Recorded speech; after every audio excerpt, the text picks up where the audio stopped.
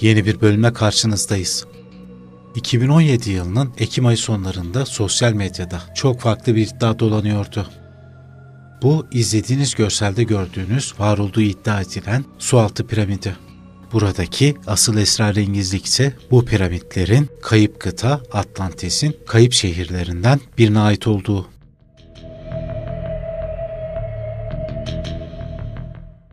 Bu iki adet sualtı piramidi Amerika Birleşik Devletleri'nde Bahamalara yakın kıyı şeridine yakın bir bölgede bulunuyor.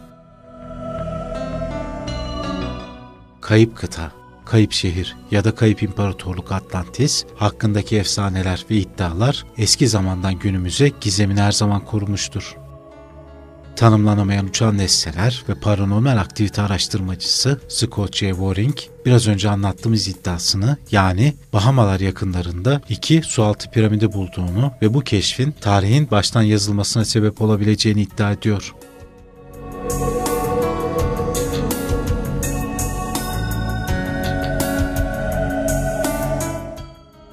Scott, Bahamalara bağlı New Province Island'ın 6 kilometre güney açığında yer aldığı öne sürülen sualtı piramitlerini Google Earth uygulamasını kullanarak bulduğunu ve yaptığı ölçümlere göre piramitlerin 100 metre genişlikte ve 60 metre yüksekte olduğunu belirtiyor.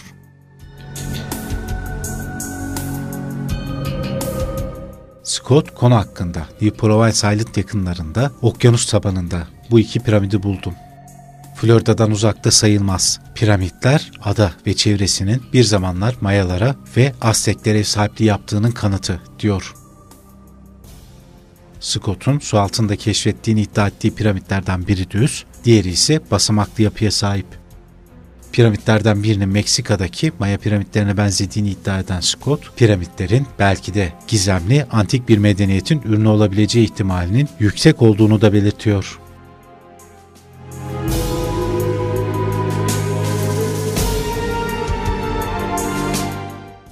İzlediğiniz bu görüntüde de Meksika'daki Maya piramitlerini görüyorsunuz. Çok sayıda UFO araştırmacısı Mısır başta olmak üzere dünya çapındaki piramitlerin nasıl bir teknoloji kullanılarak inşa edildiğinin hala tespit edilememesinin sebebini dünya dışı yaşam desteği ya da onların yapmış olabileceğiyle açıklıyor.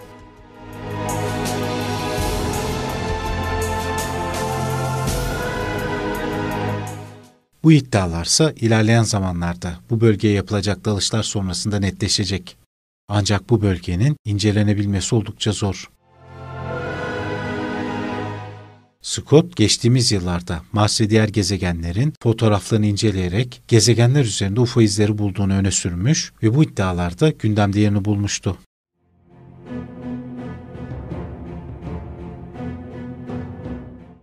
Tanım olarak kıta veya ana kara, yeryüzünü oluşturan büyük kara parçaları. Kıtayı tanımlayan tek bir standart yoktur ve bu nedenle farklı kültürler ve bilimler neyin kıta olarak yorumlanacağına ilişkin farklı listelere sahipler.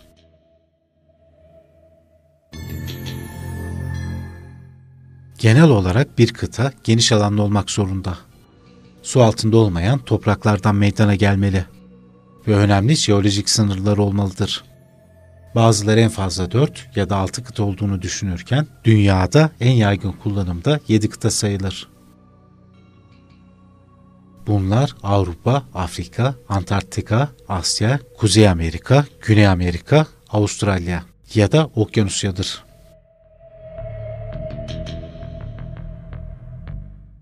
Gezegenimizin eski zamanlarında Pangea adı verilen tek bir kıta vardı. Paleozik zaman olarak da bilinen devrin sonları ile Mezozik zamanın başlarında var olmuş dördüncü ve son süper kıta Pangea'dır. Pangea yaklaşık 300 milyon yıl önce daha önceki erken kıta parçacıklarından toplanarak bir araya geldi ve yaklaşık 175 milyon yıl önce ayrılmaya başladı. Günümüzdeki yeryüzü şeklinin aksine bir süper kıtanın daha fazla kısmı güney yarımkürede bulunuyordu ve etrafı da bir süper okyanusu olan Pantalassa ile çevriliydi.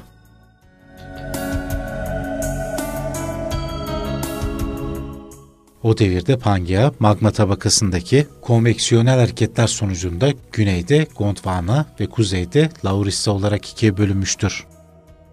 İlerleyen evrelerde bu iki kıta daha fazla parçalara ayrılarak günümüzdeki kıtalara dönüşmüştür.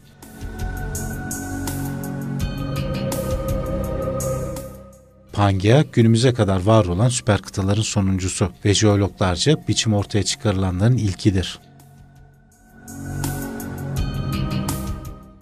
Gondwana'nın parçalanmasıyla Antarktika, Güney Amerika, Avustralya ve Afrika kıtaları, Laurasya'nın parçalanmasıyla da Kuzey Amerika ve Avrasya yani Asya ve Avrupa kıtaları ortaya çıkmıştır. Bu parçalanma süreci içinde Kuzey Amerika ile Güney Amerika ve Avrasya ile Afrika kıtaları birbirine oldukça yaklaşırken Hindistan levhası ile Avrasya çarpışmış ve sonucunda Himalaya dağları oluşmuştur.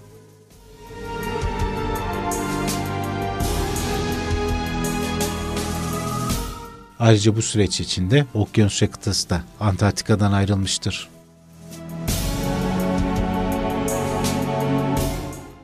Süper kıtaların biçimlenmesi ve ardından ayrışmaları yeryüzü tarihinde döngüsel olarak tekrar eden bir süreç. Kolombiya veya Nuna adı verilen bilinen ilk süper kıta yaklaşık 2 ila 1.8 milyar yıl önce oluşmuş ve ardılı olan Rodinya onun parçalarından yaklaşık 1.1 milyar yıl öncesinden 750 milyon yıl öncesine kadar bir araya gelmiştir. Tam biçimlenmesi ve jeodinamik süreci devamı niteliğinde olan Panotya ve Pangea kadar da net değildir.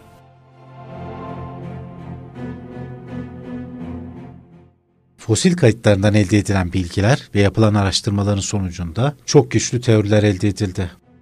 Buna göre Rodinya kıtası ayrıştığında Proto-Lavrasya, Proto-Gondwana ve daha küçük bir parça olan Kongo-Kraton olmak üzere üç parçaya bölündü. Proto-Lavrasya ve Proto-Gondwana, Proto-Tetis Okyanusu ile ayrılmaktaydı.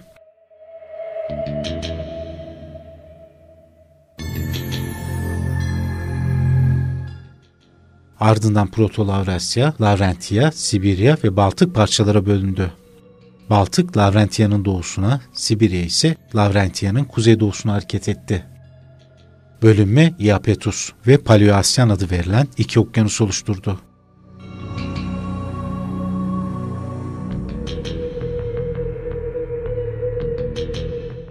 Bu parçaların büyük bir kısmı Panotya adı verilen bir süper kıtada yeniden birleştiler. Panotya süper kıtasının topraklarının büyük bir kısmı Güney Kutbu ile Ekvator yakınlarında bulunmaktaydı kutup parçalarını çok küçük bir şerit birbirine bağlamaktaydı. Panotya'nın varlığı yaklaşık 540 milyon yıl öncesine kadar sürdü.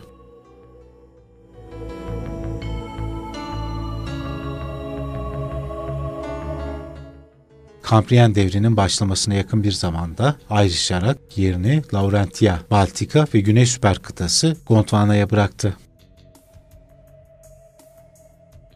Daha sonra Kuzey Amerika kıtası olacak olan Lavrentiye kıtası ekvator üzerinde bulunuyordu ve kuzey ve batı yönünde Pantelesik Okyanusu, güneyinde Iapetus Okyanusu ve doğusunda Hanti Okyanusu ile çevreliydi.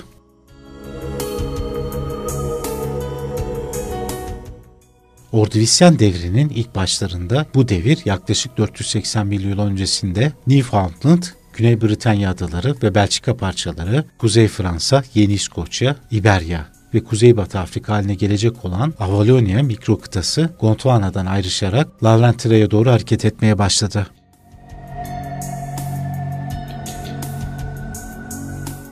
Baltık, Lavrentia ve Avalonya, Ordovisya'nın sonunda buluşarak Euramerika ya da Laurasya adı verilen Iapetus Okyanusu'na yakın bir kıta biçimine dönüştüler iki kıta arasında Anti yer almaktaydı.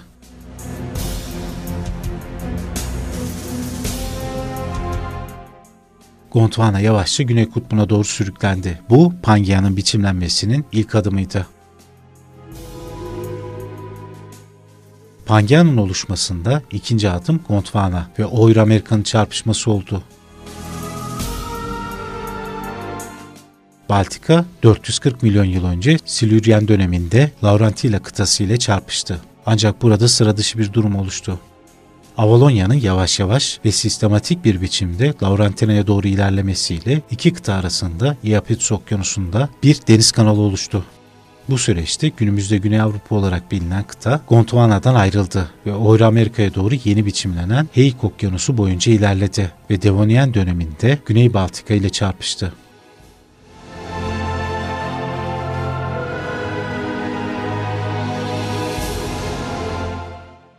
Iapetus Okyanusu'nun küçük bir kardeşi gibi düşünebiliriz. Hante Okyanusu, Sibirya'nın Doğu Baltika ile çarpışmasından dolayı bir adaya ile küçüldü. Bu adayın arkasında ise yeni bir okyanus olan Ural Okyanusu yer aldı.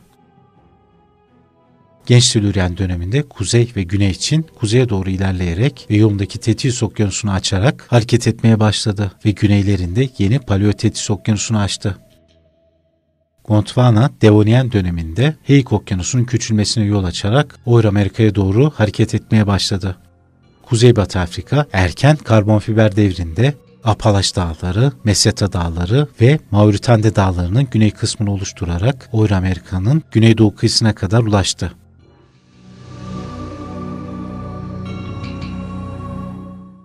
O dönemde Güney Amerika kıtası ise Oyra Amerika'nın güneyine doğru yöneldi. Bu zamanlarda Gondwana'nın doğu bölümü Hindistan, Antarktika ve Avustralya, Ekvator'dan Güney Kutbu'na doğru yönelirken kuzey ve güney için bağımsız birer kıtaydılar. Geç karbon fiber devrinde Batı Kazakistan aralarındaki Ural Okyanusu ve Batı Proto Tetis Okyanusu'nu kapatarak Baltık ile çarpıştı.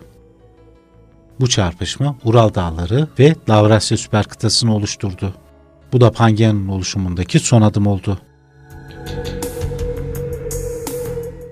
Bu arada Güney Amerika, Heyik Okyanusu'nu kapatarak Apalasya Dağları ile Oakhita Dağları'nın en güney kısımlarını oluşturarak Laurentina kıtasıyla çarpıştı.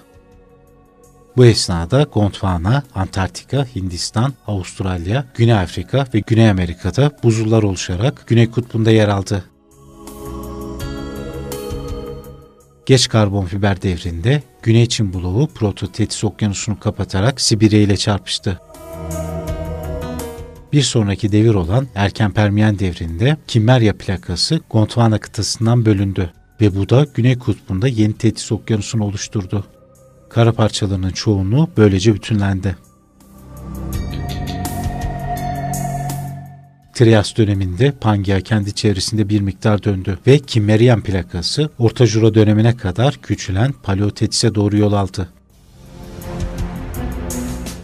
Paleotetis batısından doğusuna doğru kapandı ve Kimerya doğal oluşumunu meydana getirdi. C harfine benzeyen ve bu sembolik C harfi içinde yer aldığı düşünülen Yeni Tetis Okyanusu ile birlikte Orta Jura döneminde sürüklendi ve deformasyona uğrayarak yarıldı. Hatırlatacak olursak Jura dönemi dinozorların ortaya çıktığı ve yaşadığı dönemdir. Peki bilim insanları bu kadar bilgileri nasıl elde etti? Şimdi de Pangea'nın varlığına ilişkin kanıtları inceleyelim. Benzer fosillerin bir dizi hat halinde kıtalar üzerinde dağılımı Pangea'nın varlığına işaret eden bir kanıt olarak değerlendirilmektedir. Şu anda birbirinden çok uzak aralıklarda bulunan fosil kanıtları benzer ve saptayıcı türler içermektedir. Örneğin terapsit, Lystrosaurus fosilleri Güney Afrika, Hindistan ve Antarktika'da Glassopteris faunası boyunca bulunmuştur. Bu alanın ilginç bir özelliği ise kutup dairesinden ekvatora kadar bir genişliğe sahiptir. Benzer biçimde tatlı su sürüngeni Mesosaurus, Brezilya ve Güneybatı Afrika kıyılarında bulunmuştur. Pangea'nın varlığına bir diğer kanıt, Güney Amerika'nın doğu kıyısı ve Afrika'nın batı kıyısının jeolojik sınır uyumu olarak değerlendirilmektedir. Karbon fiber dönemi boyunca sınırını kutup buzul örtüsü kaplamaktadır. Pangea'da bir bütün oldukları döneme ait aynı yaşta ve aynı yapıda buzul artıkları farklı kıtalarda bulunmuştur. İzlediğiniz temsili görselde Tetis alanının levha tektoniği yani parçalanmaya başladığı anı görüyorsunuz. Bu yaklaşık 244 milyon yıl öncesi.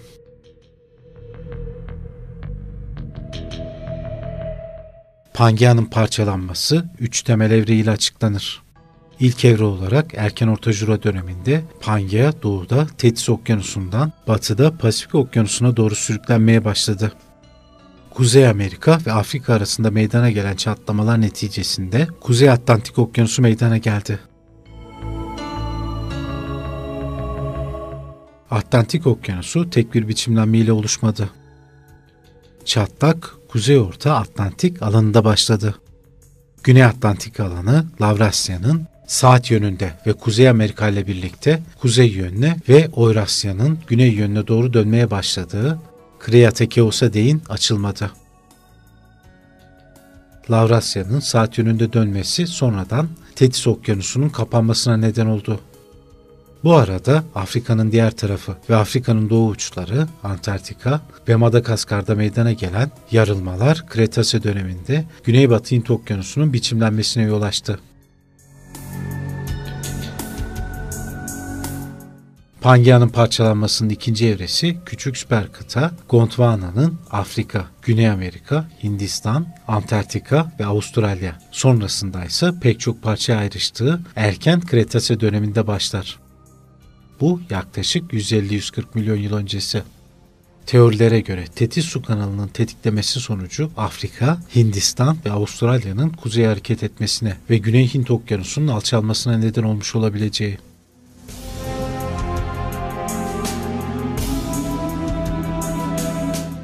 Pangea'nın parçalanmasında 3. ve son evre erken Paleosen'den Oligosene kadar Senozozik döneminde gerçekleşti.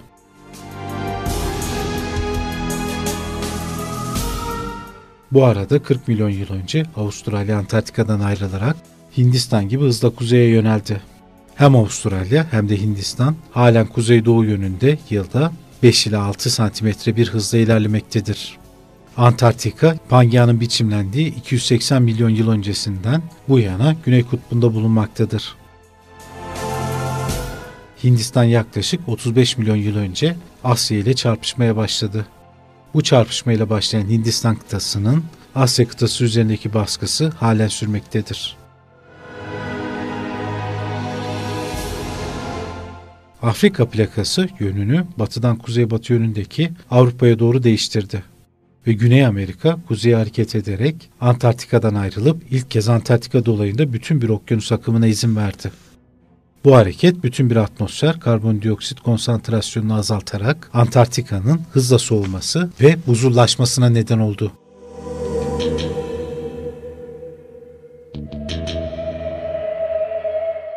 Süreçteki bir diğer önemli olay ise Senozozik devirde Kaliforniya körfezinin açılması, Alp dağlarının yükselmesi ve Japon denizinin açılması oldu.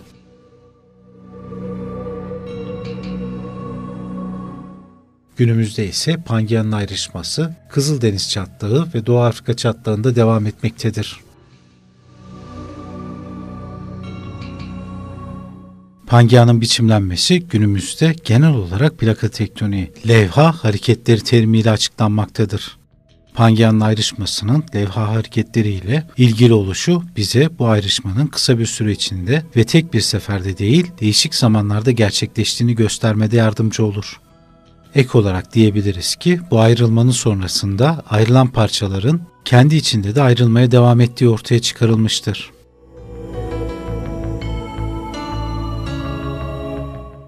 Pangea günümüz dünyasının oluşmasında çok önemli bir etki yaptı. Pangea döneminde kıtaların ve okyanusların yeniden biçimlenmesi birçok alanda iklimi değiştirdi. İklimin yoğun bir biçimde değiştiğine yönelik bilimsel kanıtlar bulunmaktadır. Kıtalar ayrılıp yeniden biçimlendiklerinde okyanus akıntıları ve rüzgarları da değişime uğradı.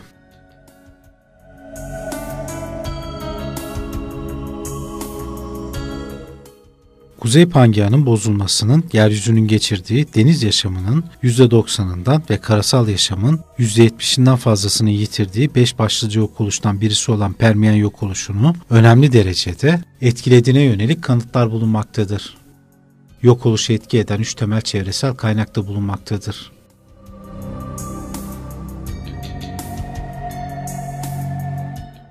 Bu kaynaklardan ilki derin su bölgesinde kalsit çözünme oranının aşağı indikçe hızla arttığı oksijen konsantrasyonlu derinliğin bu lysoklin olarak da bilinmektedir. Bunun sığlaşmasıdır.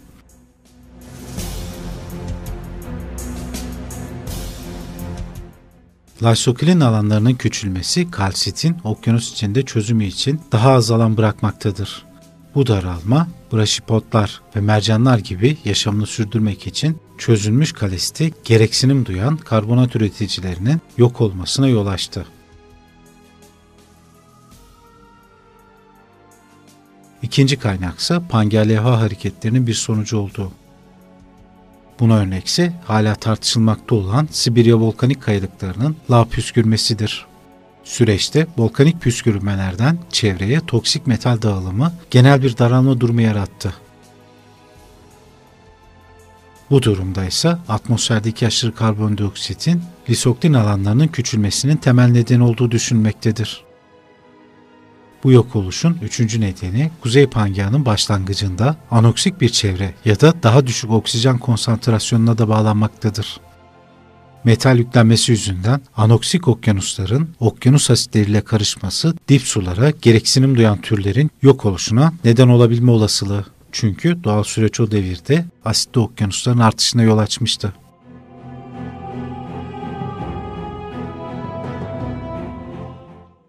Bölümümüzün bu kısmına kadar bilimin açıklayabildiği şekliyle kıtaların oluşum sürecini anlattık. Şimdi de hemen hemen herkesin bildiği, bazı bilim insanlarının da ileri sürdüğü eski zamanlarda kayıp kıtalar ve kayıp şehirlerin olduğu ve buralarda gelişmiş uygarlıkların yaşadığı iddialarını detaylıca anlatalım.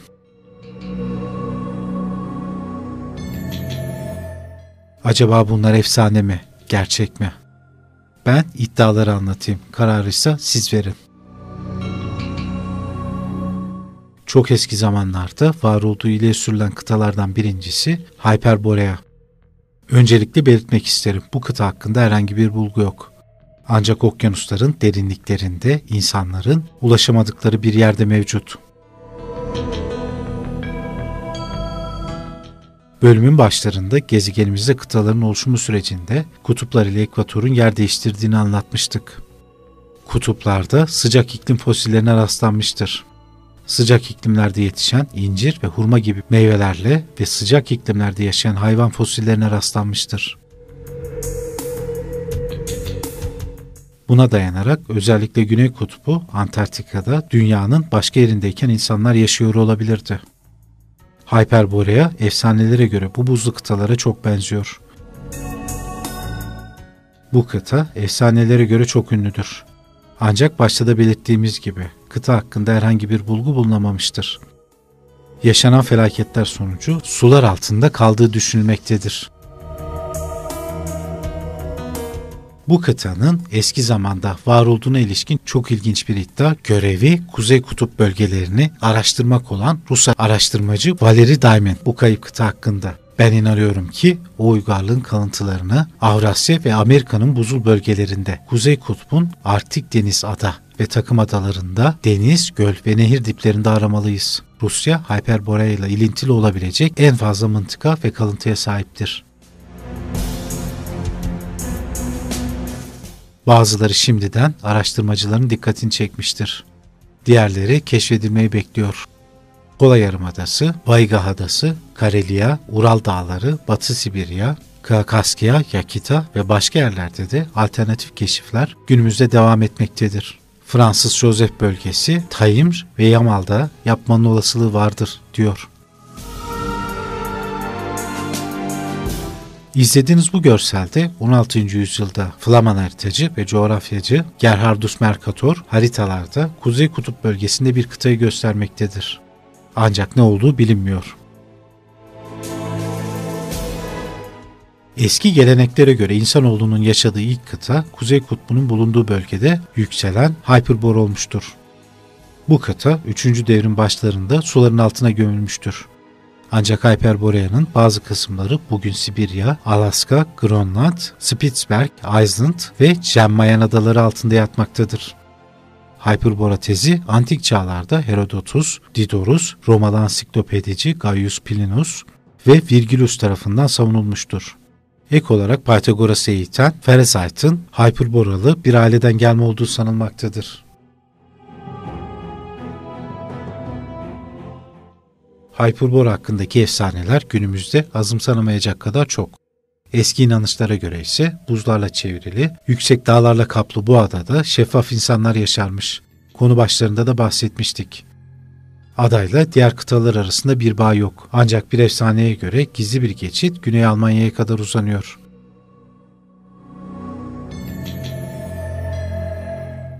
Buzların arasında bir uygarlık düşünülebilir mi? Bu çok esrarengiz bir soru işareti. Hyperborea'nın varlığından daha önemli olan bu soruya kısaca değinelim. Çok uzak bir geçmişte ekvatorla kutupların yer değiştirdiği, kutup iklimine benzediğini konu başlarında anlatmıştık. Bu bilimsel bulgulara dayanıyor. Spitzberg ve Grönland'da bulunan manolya, incir, burma ağaçları, sıcak bölgelerde yaşayan hayvan fosilleri bunun ispatı olanakla biliniyor. Buz akından söz edildiğinde bu çeşit jeolojik olayların birkaç defa yer aldığında hatırlatmak gerekir. Bölgede buzların son çözülüşü yaklaşık olarak 10 ila 12 bin yıl önce Avrupa'yı ve Güney Amerika'yı etkilemiştir. Olay büyük bir hızla yayıldığından devamında geniş kara parçalarını sürüklediği de biliniyor. Bu durum Atlantis olayında da görülür. Ancak bu durum Hyperbora'nın varlığını destekleyebilecek nitelikte değil. Sadece genel olarak kıtaların batma nedenlerinin açıklanması olabilir. Hyperbora iddialarını en çok destekleyenler eski Yunanlardır. Buzların son çözülüşünden sonra bile Yunanlılar Arktik bölgelerde yaşayan üstün bilgilere sahip beyaz tenli bir ırkla ilişkide bulunduklarını çeşitli eserlerine yansıtmışlar. Yunanlıların ve Romalıların Arktik denizlerde seferler yaptığı bilinmektedir. Bu gerçek yorumlandığında kutuplara yakın bölgelerde belki İzlanda'da yaşayan bir ırkla ilişki kurdukları düşünülebilir. Hyperborealılar hakkında birçok hayali görüşler yürütüldü. Kimi onları Atlantislere bağladı, kimi de bir çeşit uzaylı olarak gördü. Hyperborea'ya ait ise somut olarak hiçbir kalıntı bulunamadı. Tek gerçekçi iddia Almanya'da. Helgoland açıklarında keşfedilen denizaltı kalıntıları. Buradaki duvarlar bilinmeyen batık bir şehrin bir adanın izleri olabilir. Günümüzde jeoloji kutupların ve Antarktika bölgesinin tarih öncesi çağlarda yaşamaya uygun olduğu düşüncesini desteklemektedir. 1938 ila 1939 yıllarında bir asker yüzbaşı olan Richter'ın yönettiği Alman Schwabenland araştırma kolu 70. paralelin batısında ve doğusunda uzanan buz duvarlarının birkaç yüz metre ilerisinde yeşilliklerle kaplı dağlık bir bölgeyi keşfetmiştir. O yıllarda kuşkuyla karşılanan bu keşif daha sonra 1947'de o dönemde başka bir asker olan Amiral Bayard'ın arkadaşları tarafından da doğrulanmıştır.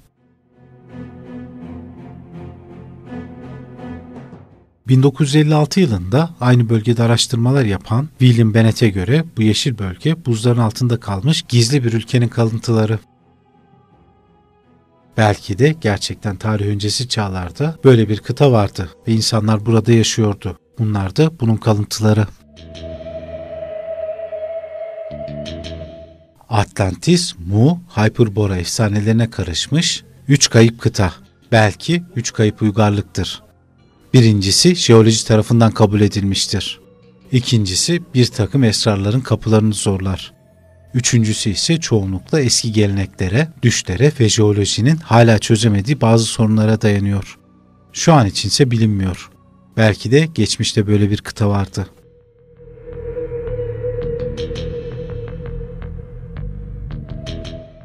Gezegenimizin eski zamanlarında var olduğu düşünülen kayıp kıtalardan bir diğeri de Mauritius. Bu kayıp kıta Şubat 2017'de yapılan bir keşif sonucunda gündeme geldi. İddia ise Afrika'daki ada ülkesi Mauritius'un bulunduğu yerde 3 milyar yıl önce bir kıta olduğu.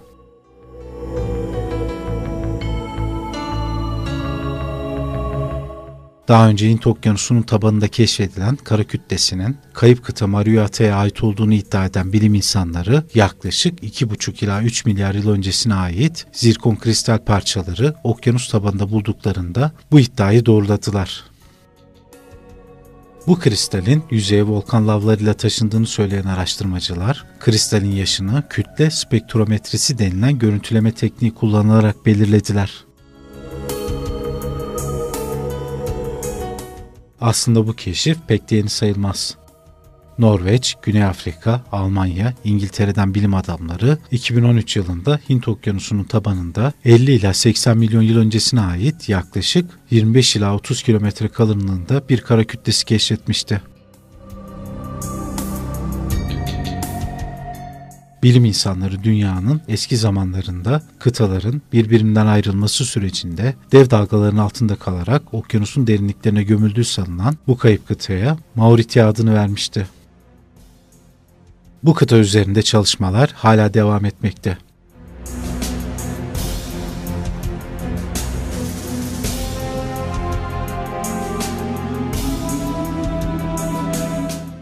Şimdi gelelim kayıp kıta ya da batık uygarlıklardan Mu kıtasına. Siz de bu kıta hakkında muhtemelen birçok anlatı duymuşsunuzdur. İngiliz ve Türk arkeolog ve bilim insanlarına göre 14 bin yıl önce büyük tufanda yok olduğu ve bazı bilim insanlarına göre de hiçbir zaman var olmadığı sadece efsanevi şekilde insanlardan çıktığı bir çeşit hayali kıtadır.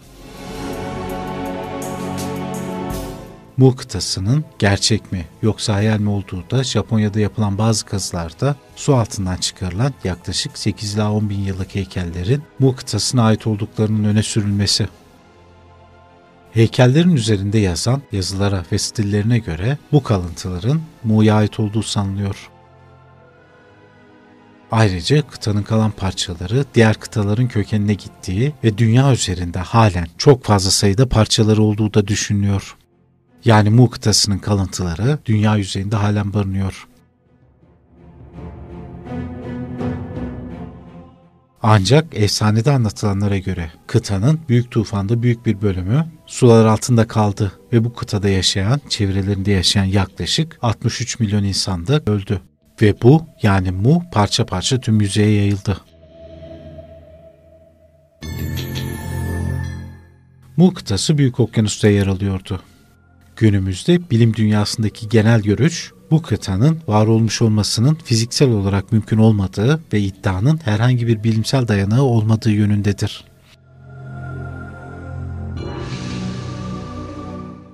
İlk olarak İngiliz subay ve gezgin James Churchward, Tibet'te yaptığı araştırmalara dayanan ve bunlar hakkında yazdığı 5 adet kitabına konu edilmiştir. Churchward, Hindistan tapınaklarında bulduğu yazı tabletlerini oradaki rahiplerden 12 yılda öğrendiği Naga Maya diliyle tercüme ederek elde ettiğini açıkladığı efsaneye göre Büyük Okyanus'ta Asya kıtası ve Amerika kıtası arasında ve Avustralya'dan birkaç kat büyüklükteki yüksek bir uygarlığa ulaştıktan sonra günümüzden yaklaşık 12 bin yıl önce bir deprem ya da tufan sonucu yok olmuştu.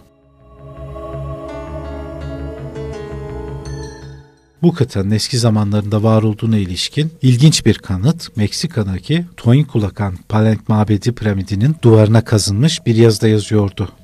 Bu yazıya göre Mu'nun batışı şu şekilde. 6 Kaan yılı Zakay'ı iki mağlup günü başlayan korkunç yer sarsıntısı 13 öğüne kadar devam etti. Mu kıtası felakete kurban gitti. Mu ülkesi iki kere kalktıktan sonra bir gece çöktü. Üstünü sular kapladı. Toprak birkaç defa havaya kalktı ve oturdu. Felaket 64 milyon insanın ölümüne sebep oldu.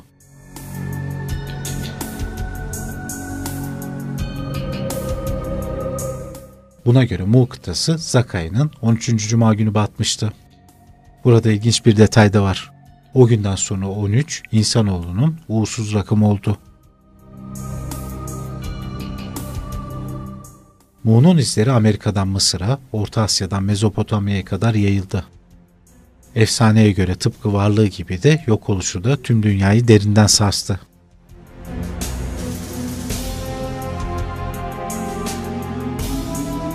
İzlediğiniz bu görüntüdeki yer Japonya'daki Yonaguni bölgesinin derinlikleri. Japon dalgıçların Pasifik'te Yonaguni-jima açıklarında deniz dibinde keşfettikleri devasa piramitten bir görüntüler. Araştırmacıların görüşü bunun bu izi olduğu yönünde.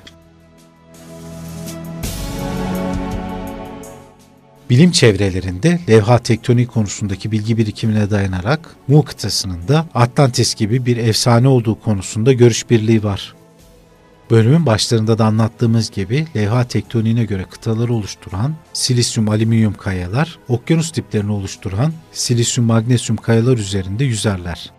Büyük okyanus dibinde kıtasını kanıtlayacak herhangi bir silisyum alüminyum kayaya rastlanmamıştır.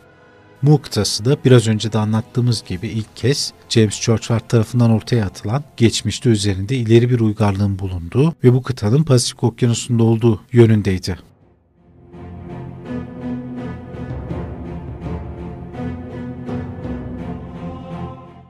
Bu kıta çeşitli belge ve bulgulara dayandırılıyor. Ancak arkeologlarsa bu konuda kararsız. İddialara göre Mu battıktan sonra Çin'e ve çevre adalara kaçanların kitabelerinde kıtamız battı. Biz de buraya kaçtık yazmaktadır. Bu yazılı kaynaklar 14 bin yıllıktır.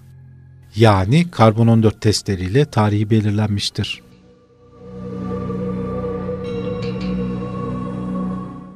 Biz Türklerin de kökeninin Mu kıtasından geldiği söylentileri Mustafa Kemal Atatürk'ün talimatıyla kurulan bir ekip tarafından araştırılmıştır. İngiliz araştırmacı James Churchward'un iddia ettiğine göre ilginç bir detay var. Bu uygarlığın araştırmasına başlanması Hindistan'da yaşanan kıtlık döneminde halka destek olmak için tapınak okulunun başrahibine yardım ederken adını vermediği gizli bir tapınağın arşivlerinde bulunan çok eski bir dilde yazılmış olan Nacal tabletlerinin okunmasıyla başlanmıştır. Söylediğine göre bu tabletleri okuyabilme becerisinde yine o tapınakta bulunan bir Hint başrahipten öğrenmiştir. Churchward sonraki yıllarda mineralog ve arkeolog olan Dr. William Niven tarafından Meksika'da ortaya çıkarılan tabletler üzerine çalışmıştır. Çin'e, Hindistan'a, Güney Asya ülkelerine ve adalara kaçanların kitabelerinde kıtamız battı, biz de buraya kaçtık yazmaktadır. Bu yazılı kayalarda 14 bin yıllıktır. Churchward'a göre Meksiko City yakınlarında 1921 ila 1923 yılları arasındaki kazılarda keşfedilen bu 2600 tablet Tibet'te öğrendiği Nagamaya dilinde yazılmıştı. Konu başlarında da farklı bir açıdan bahsetmiştik. Ancak Churchward'a göre bu tabletler Maya uygarlığına aitti ve 12 bin yıldan daha eskiydi. Araştırmacının yazmış olduğu Kayıp Kıta Mu isimli kitabında Mu'da yaratılışı şöyle açıklamaktadır.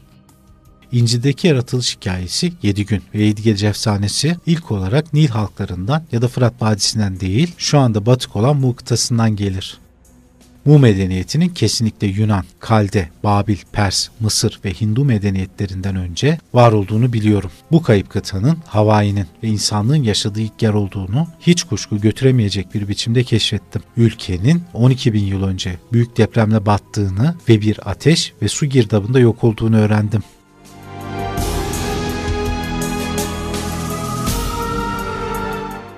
Yaklaşık 50 yıl boyunca 20'den fazla ülkeye giderek Mu uygarlığı hakkında veri toplayan James Churchward'ın ve Mu varsayımını destekleyenlerin Mu uygarlığı hakkındaki görüşleri ise genel olarak yeryüzünde insanın ilk ortaya çıktığı kıtanın Mu olduğu, Mu kıtasının kuzeyden güneye 3000 mil, doğudan batıya ise 5000 mil kadar uzanan 3 kara parçasından oluşan çok büyük olması günümüzde Polinezya, Mikronezya, Melanezya, Fiji ve Hawaii takım adalarını oluşturan adalar muhtemelen bu kıtadan arta kalan kara parçaları olması, bu kıta kıtanın altında yer alan gaz odacıklarının patlamalara yol açması, şiddetli depremlerin oluşması ve volkanik patlamaların olması nedeniyle yaklaşık 12 bin yıl önce 64 milyon nüfusuyla birlikte sulara gömülmesi, varsayımlar genel olarak bu şekilde. Bu kıtada 70 bin yıl önce tek tanrılı bir din bulunuyordu. Aynı tarihlerde Muğlular diğer kıtalarda koloniler oluşturmaya başlamışlardı. Ana vatanları dışındaki en büyük imparatorluk, başkenti günümüzde Gobi Çölü'nün uzandığı bölgede bulunan Uygur İmparatorluğu'ydu.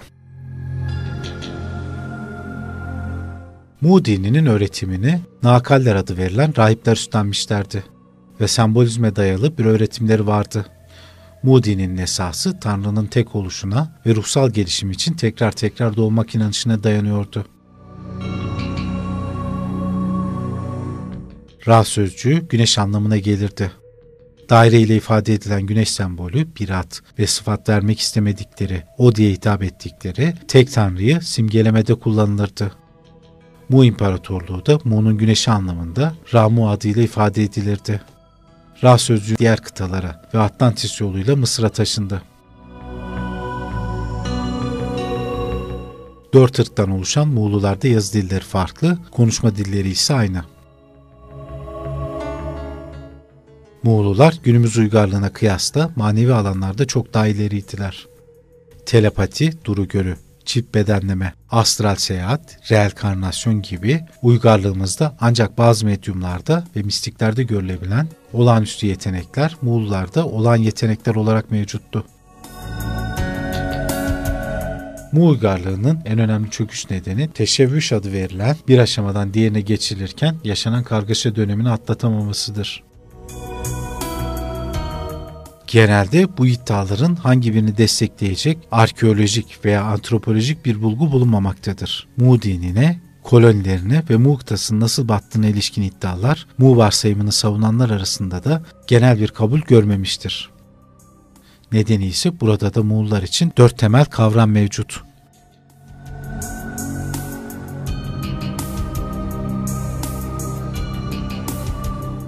Birincisi Tanrı tektir. Her şey ondan var olmuştur ve ona dönecektir. İkincisi ruh ile beden birbirinden ayrıdır. Beden ölür ve ayrışırken ruh ölmez. Üçüncüsü ruh mükemmelliğe ulaşmak için değişik bedenlerde yeniden doğar. Dördüncüsü mükemmelliğe ulaşan ruh Tanrı'ya döner ve onunla birleşir. Şimdi James Churchward'ın yararlandığı ve tezini desteklediği ileri sürdüğü kaynakları inceleyelim. İlk olarak Çin'deki piramitlerden bahsedelim. Çin'de 400'e yakın piramit bulunur ve bu piramitlerin en az 10 bin yıllık olduğu söylenir. Bu piramitlerin bu varsayımında geçen Büyük Uygur İmparatorluğu'na ait olduğu piramitler üzerinde bulunan yazıtlarda görünür.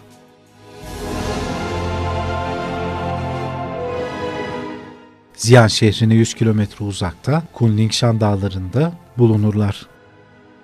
Ayrıca yerden yükseldiği 300 metreyi bulan en büyük piramide Beyaz Piramit de denilmektedir. Piramitlerin bulunduğu yer yasak bölge ilan edildiğinden orada detaylı araştırma yapılamamaktadır.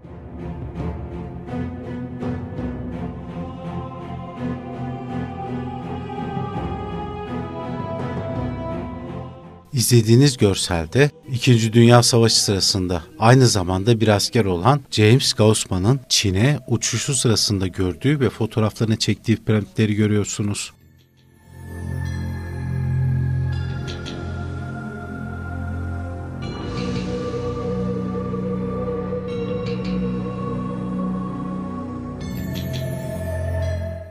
Kaynakların ikincisi arkeolog Dr. William Niven'ın 1921-1923 yılları arasında keşfettiği günümüzde Meksiko Müzesi'nde bulunan 2600 tablet. Üçüncü kaynak ise Meksika'da Yukatan'da hazırlanmış eski bir Maya kitabı olan Truano el yazması. Bu günümüzde British Museum'da bulunmaktadır.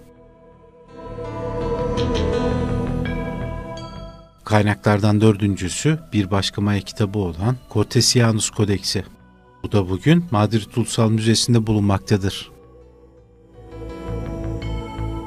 Beşinci kaynak ise Paul Shillman tarafından Tibet'teki bir Budist tapınağında keşfedildiği ileri sürülen Lhasa belgesi.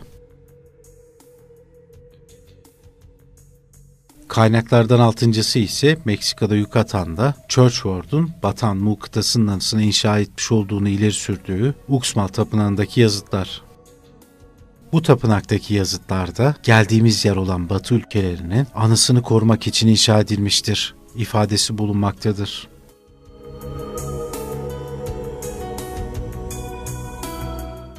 Yedinci kaynak ise Meksiko şehrinin 96 kilometre güneybatısında yer alan Ohisalo piramidi yazıtları.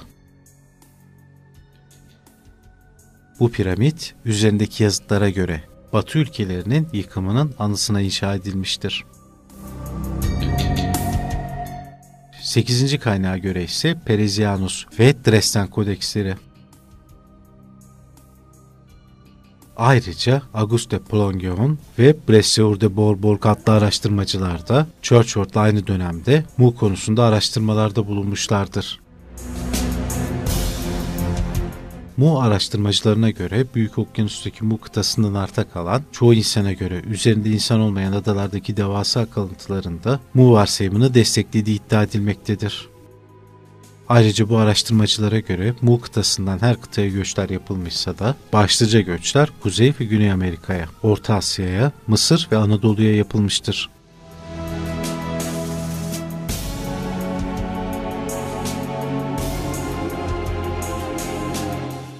Kimilerine göre Mu ya da Orta Asya kökenli bu kavimlerin hemen hemen hepsinde yaklaşık 40 dilde telaffuzları çok az farklılıklarla baba anlamına gelen atasözcüğü mevcuttur.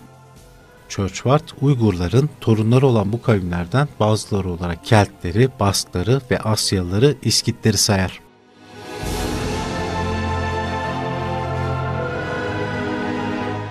Yine Churchward'a göre Osiris Mu kıtasında eğitilmiş, Atlantis'te reform yapmış, Atlantisli bir bilgedir. Öğretisi sonradan Osiris adını almış olup Hermes Trismegistus tarafından Mısır'a getirilmiştir.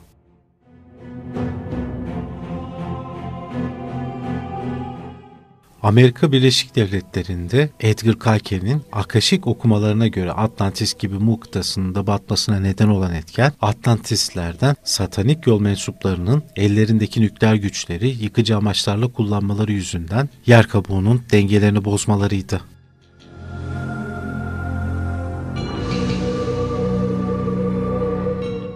Bu kıtası hakkında önemli araştırmalar yapan Türk bilim insanı Tahsin Mayapetek, o dönemdeki Türk dilini Tetkik Cemiyeti Başkanı İbrahim Necmi Dilmen ile yazışmalardan sonra Atatürk'e raporlar göndermişti. Bugüne kadar 7.den 13. rapora kadar ulaşılabilmiştir. Turan Dursun 1978 yılında 14 rapora ulaştığını açıklamış ve bunlarla ilgili bir inceleme yazmıştı.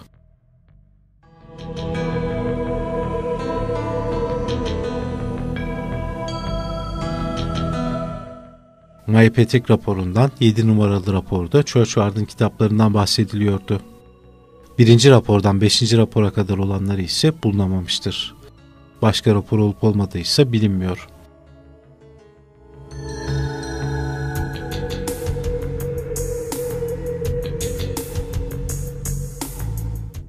Kısaca değinecek olursak Tahsin Bey Atatürk'ün isteğiyle 1935 yılında Türkiye'nin Meksika elçiliğine atandı. Ancak Büyükelçi Tahsin Bey'in vazifesi çok daha farklıydı. Mustafa Kemal Atatürk, Tahsin Bey'i Muğ kıtası, Mayalar ve Türkler arasındaki ilişkiyi araştırmakla görevlendirmişti. Maya Petek 2 Mart 1936 tarihinde Churchward'ın kitapları ile ilgili 7 raporu kendisine sunduğunda Atatürk Churchward'ın kitaplarını getirtmiş ve 60 çevirmeni kısım kısım taksim ettirerek Türkçe'ye tercüme ettirmiştir. Maya Petek raporlarının geri kalanları Maya kültürü ve dili ile ilgili.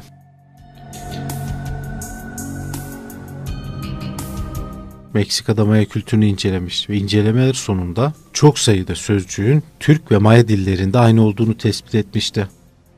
Bu sözcüklerden biri de Türkçedeki tepe sözcüğüydü. Maya dilindeki karşılığı tepekte ve tepe anlamına geliyordu.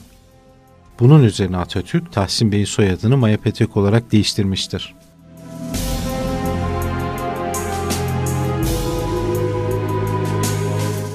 Fakat Tahsin Mayapetek'in iki kültür arasında bulduğu ortak noktalar sözcüklerden ibaret değildi. Her iki kültür arasında Mayaların ay yıldızı davullarından, şamanik kültüründen, kilim desenlerinden, sembollerinden, tüy takma alışkanlıklarına kadar pek çok ortak nokta mevcuttu.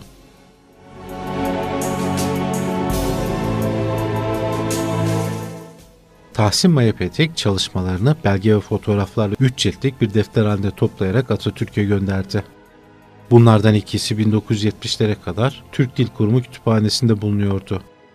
Üçüncü defterin ise kayıp olduğu iddia ediliyor. Bu defterlere göre dini tören, ibadet ve tapınaklarda da benzerlikler olduğu belirtiliyor.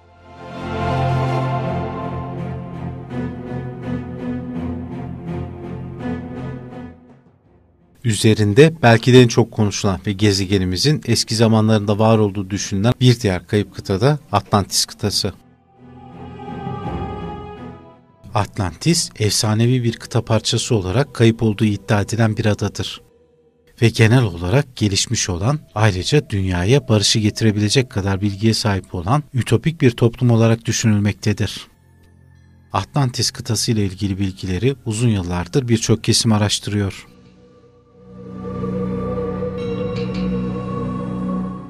1800'lerde mistik Madame Blavatsky, Tibetli gurulardan Atlantis hakkında öğrendiğini iddia etti.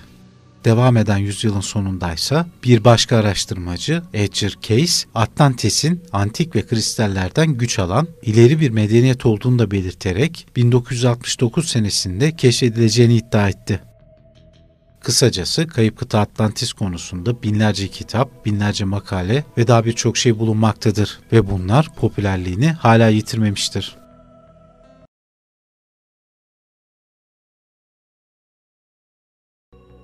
Bu kıta hakkında birçok efsane mevcut. Ancak bunların aksine Atlantis hikayesinin ne zaman ve nerede ilk kez ortaya çıktığı ise biliniyor. Bu konu bölümde de sık sık bahsettiğimiz yazar Platon'un M.Ö. 330 zamanda yazılmış olan Timaeus ve Critias adlı iki diyaloğunda anlatılmıştır. Günümüzde Atlantis barışçıl bir ütopya olarak tasvir edilse de Platon'un belki de bir masalında anlattığı Atlantis çok daha farklı.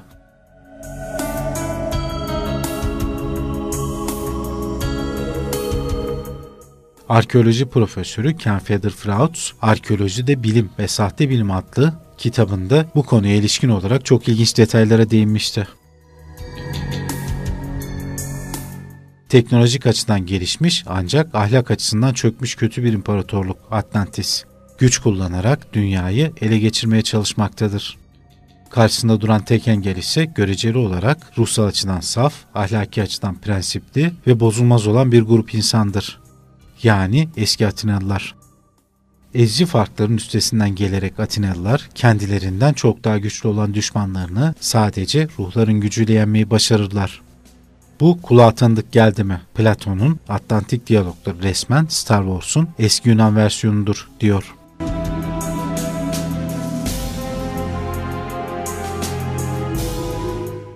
Bir kurguya dayandırdığı açık olsa bile birçok insan yüzyıllar boyunca bu tür olguların arkasında bir çeşit gerçeğin yattığını iddia etmiştir.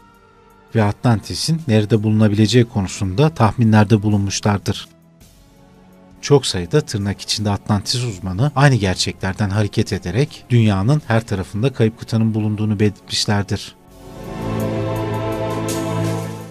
Her biri kendi kanıt ve argüman türlerine sahip olarak aday bölgeler ise en belirgin yerler olarak Atlantik Okyanusu, Bolivya, Türkiye, Almanya, Malta ve Karayipler.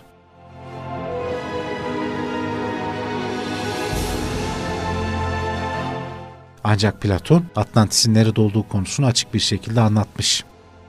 Yazdıkları ise okyanus için gemilerin geçebileceği bir zaman vardı. Ağzın önünde siz Yunanların söylediği gibi Herakles'in sütunları yani Herkül.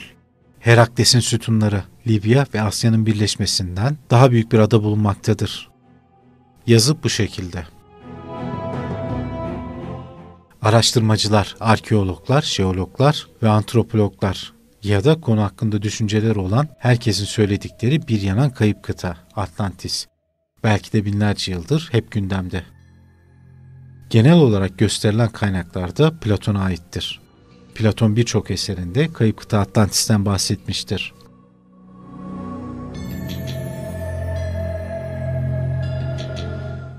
Hatırlatacak olursak Platon ya da İslam dünyasında Eflatun olarak bilinen kişi antik klasik Yunan filozofu, matematikçi ve Batı dünyasındaki ilk yüksek öğretim kurumu olan Atina Akademisi'nin de kurucusudur. Şimdi de kayıp kıta Atlantis hakkındaki farklı kanıtlara bakalım. Bilinen Yunan gezgin ve tarihçi Herodot, bugünkü sahrada yaşamış olan garip bir halktan söz eder ve onların Atlantis'te olduğunu söyler. Bu efsanevi ülke zaman zaman yer küremizin birbirleriyle hiç ilgisi olmayan noktalarına yerleştirilmeye çalışılmıştır. Yunanlı tarihçi gibi günümüz romancılarından Pierre Benoit gibi yazar, araştırmacılar bu ülkenin Sahra'nın Fas atlaslarına yakın bölümünde bulunduğunu iddia etmişlerdir. O zamanlardaki Sahra bugünkü gibi çöl değil, aksine yemyeşil, bereketli bir yerdi.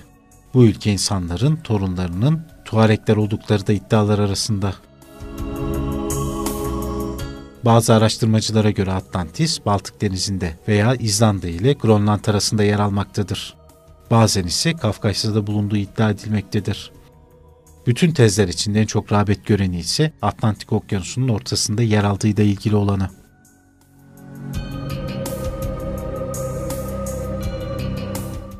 Bu tezden ilk söz edense aynı şekilde Platon olmuştur. Özetleyecek olursak Platon, Atlantis ile ilgili Timea adlı eserinde bu konuyu çok detaylı ele almıştır. Ancak burada birbiriyle ilgisi olmayan pek çok uygarlığa da rastlanmaktadır. Öne sürülen ifadelerinin çoğunluğunun birleştiği nokta bu uygarlığın çok yüksek bir evrilme seviyesine erişmiş olduğu tip olarak siyah saçlı ve çıkık elmacık kemikli olan Atlantisliler maddeye hakim olacak güçte sihirli bilgiye sahiptiler.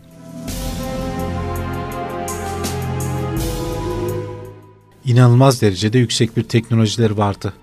Başkentleri olan Poseidon'da altın tapınakları vardı. Tunçtan yapılmış geniş bir sur ile çevriliydi ve bolluk bereket içindeydiler.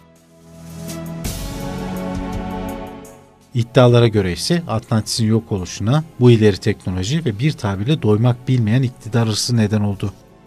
Atlantisliler dikkatsiz davranarak negatif güçleri uyandırdılar ve belki de atomik bir tufan sonucunda dalgalar arasında yok olup gittiler. Atlantis üzerinde yaşayan halk ile birlikte bir gün ve bir gece içinde volkan ateşleri, yer sarsıntıları ve her şeyin yerini yutan suların arasında kayboldular.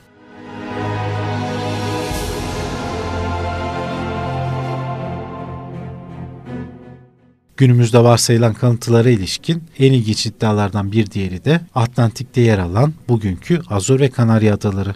İddialara göre bunlar muhtemelen Atlantis'in sular üzerinde kalmış olan izleri ve Tenerife adasındaki Teide Tepesi de Atlantislilerin Büyük Kutsal Dağı'nın en yüksek tepesi. Kayboluşundan 10 bin ila 12 bin yıl sonra Atlantik Okyanusu'nda bu efsanevi ülkeye ait olduğu iddia edilen kanıtlar ise çok sıra dışı.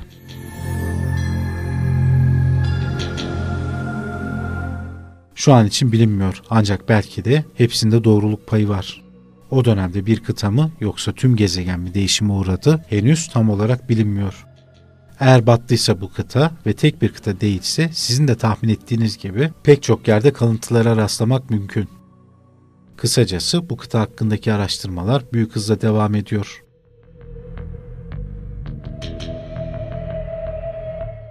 Ünlü kahin Edgar Cayce ise Tufan Öncesi Atlantis ve İnsanın Kaderi adlı kitaplarında Batık Atlantis kıtasının tekrar yeryüzüne çıkacağını, okumak adını verdiği kayıtlardan öğrendiğini belirtiyor. İkinci Dünya Savaşı, ABD'deki ırk mücadelesi, Vietnam Savaşı, Kennedy'nin öldürülmesi ve binlerce kişiyle ilgili kehanetleri doğru çıkan Kayse okumalarına göre Los Angeles, San Francisco ve New York'un tamamına yakınını yerle bir olacağını, Japonya'nın büyük bir kısmının sulara gömüleceğini, jeolojik hareketlerin Kuzey Avrupa'nın şeklini değiştireceğini, Sovyetlerde komünizmin son bulacağını, Amerika ile yeni bir ittifaka gideceklerini, ve Batık Atlantis kıtasının tekrar su yüzüne çıkacağını gördüğünü söylemişti. Bu adam yani Edgar Cayce'ın ikinci bir adı da uyuyan kahindir. Nostradamus'tan sonra dünyanın ikinci büyük kahin olduğu iddia ediliyor. Biraz önce anlattığımız iddialara bakacak olursak kehanetlerden gerçekleşenler olduğu da söyleniyor.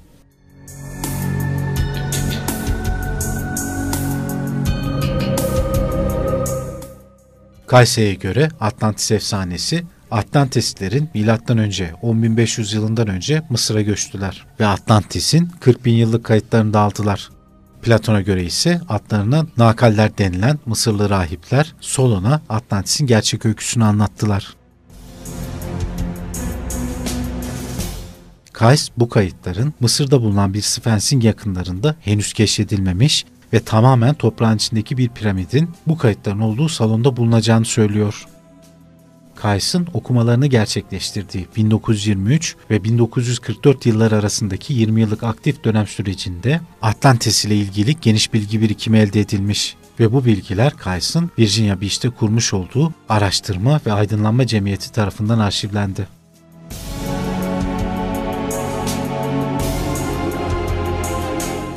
Kısacası buraya kadar anlattıklarımıza göre Atlantis'te gerçeklik payı vardır diyebiliriz.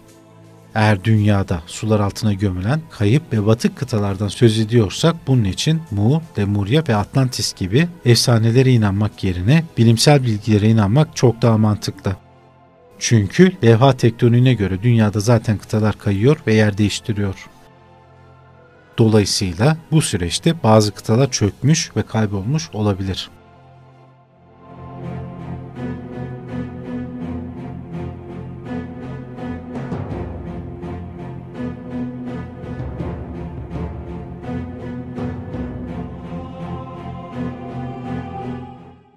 Günümüzde Anadolu Yarımadası Asya kıtasının bir parçası. Ancak 50 milyon yıl kadar geriye gidersek Anadolu'da eskiden bir adaydı, küçük bir ada. Kısacası Anadolu eskiden yer kabuğunda hareket eden bağımsız bir kıtaydı ve sonradan Asya ile çarpışıp bunun bir parçası oldu.